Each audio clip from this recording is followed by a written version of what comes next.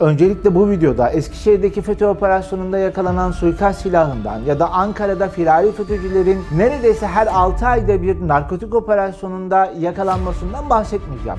Ya da Manisa'daki bir çiftlikte PKK'lı bir kişinin çiftliğinde yakalanan FETÖ firarilerinden, yurt dışına PKK'lı DHKPC'li teröristlerle kaçmaya çalışan FETÖ'cülerden ya da Yunanistan'dan Türkiye'ye gelen bir yatın içerisinde bir yata uyuşturucu operasyonu yapılırken yatın içerisinden çıkan FETÖ firarisi akademisyenden bahsetmeyeceğim.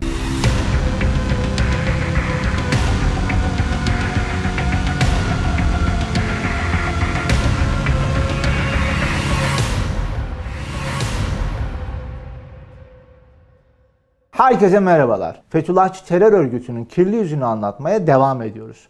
Bu hafta sizlere 15 Temmuz darbe girişimi sonrasında yurt dışına kaçan firari FETÖ'cülerin sıklıkla başvurduğu bir yalandan bahsedeceğim. Firari FETÖ'cüler yapmış oldukları açıklamada hep şu cümleleri kullanıyorlar. Biz terör örgütüysek 15 Temmuz darbe girişimi sonrasında bize yönelik operasyonlarda neden hiçbir suç unsuru bulamadılar? Çünkü biz bir terör örgütü değiliz. Çünkü biz zaten bir eğitim hareketiyiz. Bakın onlar da hiçbir delil bulamadılar gibi türlü yalanlara başvuruyorlar. Bu yalanlara başvuran isimlerden bir tanesi Bahattin Karataş, FETÖ'nün terör örgütü PKK ve yeraltı suç örgütlerinden sorumlu mahrem imamı. Yani olayın ne kadar garip olduğunu, FETÖ'nün ne kadar yalancı olduğunun en büyük delili aslında bu cümleyi kullanan isim. Ama biz bu haftaki videomuzda bu yalanı sona erdirerek 15 Temmuz darbe girişimi sonrası FETÖ'nün karıştığı suçların kısa bir özetini vereceğiz. Hazırsanız başlıyoruz. Öncelikle bu videoda Eskişehir'deki FETÖ operasyonunda yakalanan suikast silahından ya da Ankara'da firari FETÖ'cülerin neredeyse her 6 ayda bir narkotik operasyonunda yakalanmasından bahsetmeyeceğim. Ya da Manisa'daki bir çiftlikte PKK'lı bir kişinin çiftliğinde yakalanan FETÖ firarilerinden, yurt dışına PKK'lı DHKPC'li teröristlerle kaçmaya çalışan FETÖ'cülerden ya da Yunanistan'dan Türkiye'ye gelen bir yatın içerisinde bir yata uyuşturucu operasyonu yapılırken yatın içerisinden çıkan FETÖ firarisi akademisyenden bahsetmeyeceğim. Bu tür çok sayıda olay var. Daha büyük, daha somut ve FETÖ'nün terör örgütü olduğunu ispatlayan olaylardan bahsedeceğim. Listemizin birinci sırasında Rize Emniyet Müdürü Altuverdi makamında trafik polisi İsmail Hakkı Sarıcıoğlu tarafından şehit edildi. Aç aç aç aç aç aç şunu aç aç aç. Koş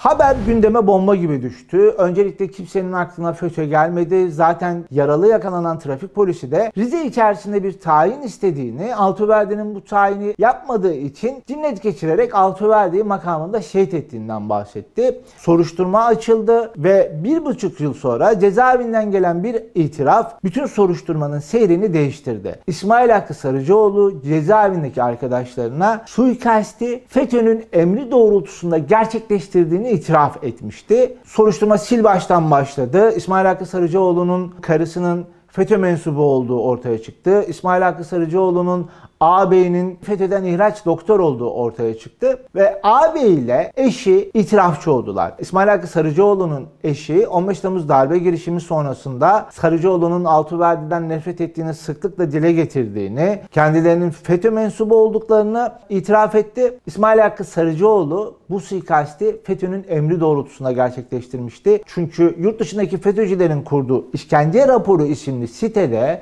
Altuverdi açıkça hedef gösterilmişti. Burada bir dakika duralım. Twitter'da işkence raporu isimli bir hesap Türkiye'deki 330 kamu görevlisini işkenceci olarak afişe ediyor ve hedef gösteriyor.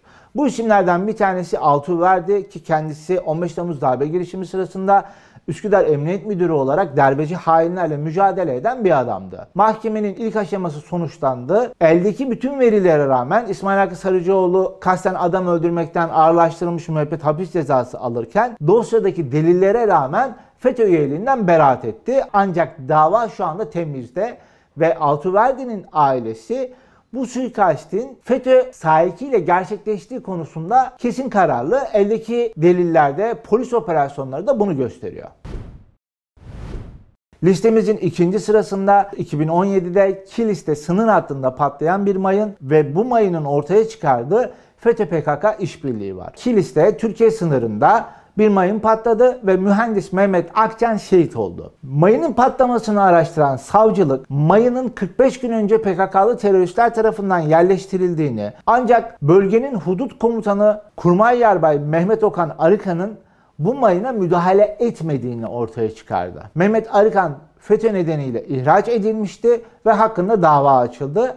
O tarihlerde termal kamerayla Türkiye sınırında görev yapan askerlerin termal kamerayla PKK'lı teröristlerin Türkiye'nin sınır hattında Suriye bölgesinde kazı yaptıklarını Kurmay Yalbay'a bildirdiklerini ancak Mehmet Arıkan'ın buna müdahale etmediğini, mayın arama ekibini çağırmadığını ve mühendis Mehmet Akça'nın şehit olmasına sebep olduğu ortaya çıktı. Ve o olayda mayının hedefinin dönemin Kilis valisi Mehmet Tekin Aslan olduğu ortaya çıktı. Yani terör örgütü PKK, Türk Silahlı Kuvvetleri'ndeki FETÖ'cü yarbayla işbirliği yaparak dönemin Kilis valisini şehit etmek için mayın döşemişti ve FETÖ'cü yarbay buna göz yumarak bir mühendisin hayatını kaybetmesine sebep oldu. Listemizin 3 numarasında Fethullahçı terör örgütünün Türkiye ile Rusya Federasyonu arasında savaş çıkarmak için yaptığı bir suikast var. Aralık 2016'da Rus Büyükelçi Andrei Karlov'un Ankara'da polis memuru Mevlüt Mert Yalçıntaş tarafından öldürülmesinden bahsediyorum. Bu suikastten kısa bir süre önce FETÖ'nün İsveç'e kaçan eski TUDES zaman Ankara temsilcisi Abdullah Bozkurt, Türkiye'de bazı büyükelçiler saldırıya uğrayabilir şeklinde bir açıklama yapmıştı. Ve bu açıklamadan kısa bir süre sonra Rus Büyükelçi Ankara'da katıldığı bir sanat galerisinde canlı yayında bir polis memuru tarafından öldürüldü. Polis memuru Mevlüt Mert Altıntaş El-Kaide sloganları attı ve hemen haberler yayıldı.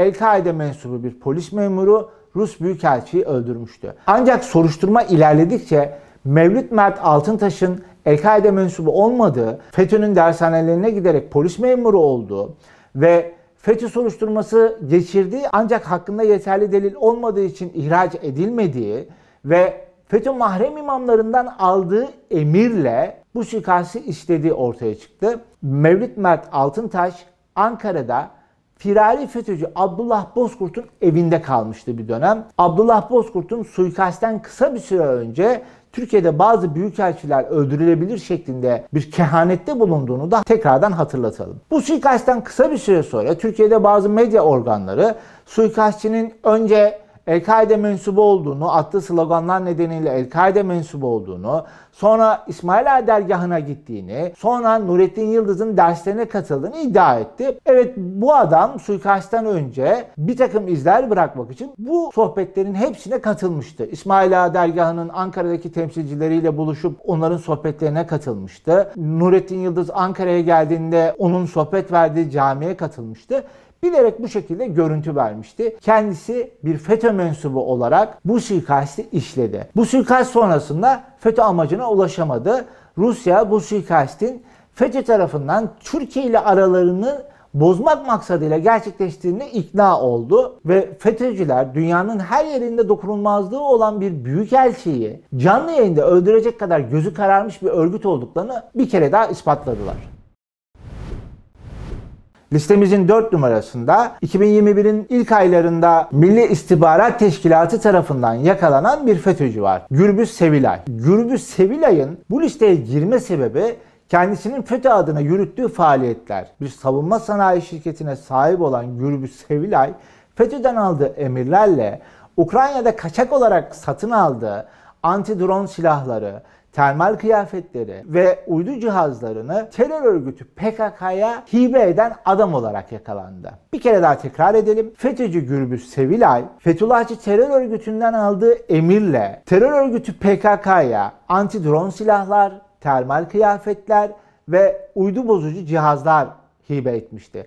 Bunlar için Ukrayna'dan kaçak yollarla silah almıştı. Kurduğu şirketler vasıtasıyla değişik ülkelere bu silahı göndererek o ülkeler aracılığıyla terör örgütü PKK'ya bu silahların ulaşmasını sağladı. Gürbüz Sevilay'ın faaliyetleri bununla sınırlı kalmadı. Kendisi aynı zamanda Kuzey Irak'a ve Suriye'ye giderek terör örgütü PKK'nın yöneticileriyle görüştü. Bunların arasında terör örgütü PKK'nın Suriye'deki elebaşı ve kırmızı kategoride aranan Ferhat Abdi Şahin de var. Fethullahçı terör örgütünün 15 Temmuz darbe girişimi sonrası Türkiye'de işlediği 4 büyük suçu anlattığımız videomuz burada sona erdi.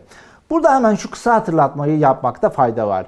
Bu videoda Fethullahçı terör örgütünün Amerika Birleşik Devletleri'nde ya da Avrupa'da Türkiye aleyhindeki çalışmalarından bahsetmedik. Onların Türkiye'ye askeri yaptırım uygulanması için, Türkiye'nin NATO'dan çıkarılması için, Türkiye'ye ekonomik yaptırım uygulanması için nasıl çalıştıklarını, yurt dışındaki siyasilere nasıl rüşvetler verdiklerini, yüz binlerce dolar bağışta bulunduklarından bahsetmedik. Ya da Türkiye aleyhine karar almadığı için Avrupa İnsan Hakları Mahkemesi Başkanı'na bile attıkları iftiralardan bahsetmedik. Bunları inşallah daha sonra başka videolarda uzun uzadıya anlatırız. Bizi desteklemek için bu videoyu beğenmeyi, kanalımıza abone olmayı, yeni videolar için bildirimlerinizi açmayı ve bu videoyu sosyal medya hesaplarınızda paylaşmayı unutmayın. Desteğiniz için teşekkür ederim.